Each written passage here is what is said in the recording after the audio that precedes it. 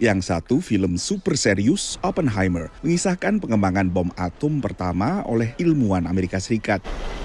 Hi, Barbie. Yang satunya lagi film komedi Barbie yang mengundang tawa dan membangkitkan nostalgia masa kecil. I'll see Barbie tomorrow. Seeing Oppenheimer tonight. I'll see Oppenheimer again tomorrow, and then Barbie after Oppenheimer.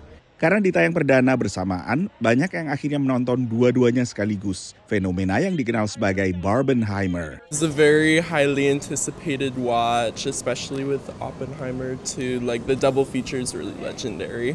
Yeah, they went all out with the marketing, and it just made me really want to see it. totally opposite. One's more intellectual, the other one is more, you know, campy. And I just think people are just so, you know, been stuck at home. And finally, there's a movie that has some intellectuality to it. And then there's a Barbie movie that's taken to a whole nother level. Pemasukan box office film Barbie selama akhir pekan pertama nayangan perdananya di pasar Amerika Utara akhirnya menembus 162 juta dolar.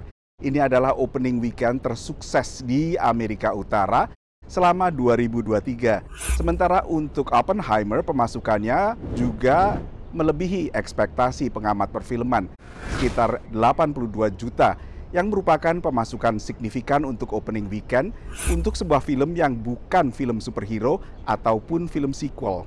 Kedua film juga dipuji para kritisi dengan ulasan positif di situs Rotten Tomatoes. I think the early Barbenheimer effect was because the well-known IP of Barbie plus the well-known IP of Christopher Nolan were put together in a way that really sparked the imagination and just the differences of the two publicity stills. And so I think they've both been building off of each other the whole time. Sementara meme yang beredar di media sosial sebelum peluncuran kedua film ikut membuat penonton semangat.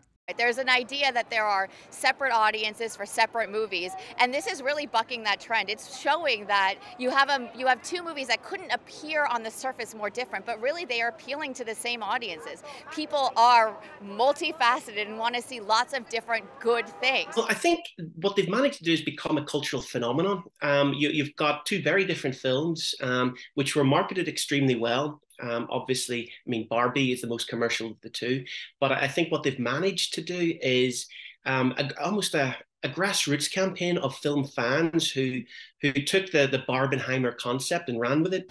Fenomena Barbenheimer akhirnya membawa sentimen positif ke box office AS setelah sejumlah film pada awal musim panas pemasukannya mengecewakan. Dari Washington DC, Nova Purwadi dan tim VOA.